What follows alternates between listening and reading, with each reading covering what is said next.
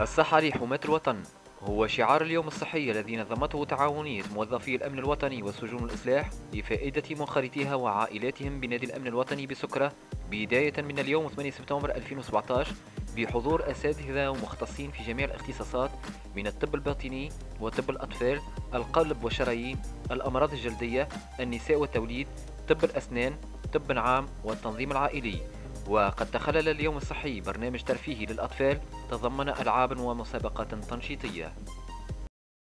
الاجتماعية والصحية بالمنخرطين متاعها نظمت التعاونية آه، اليوم الصحي هذا مبادرة من جمعية مؤازرة آه، فيها مجموعة من الأطباء في مختلف الاختصاصات آه، موجهة للمنخرطين وعائلاتهم تحت شعار الصحة لحماة الوطن. والمبادرة دي إن شاء الله تتبعها مبادرات أخرى وهذا الكل في مصلحة المنخرط بتاع التعاونية بتاعنا.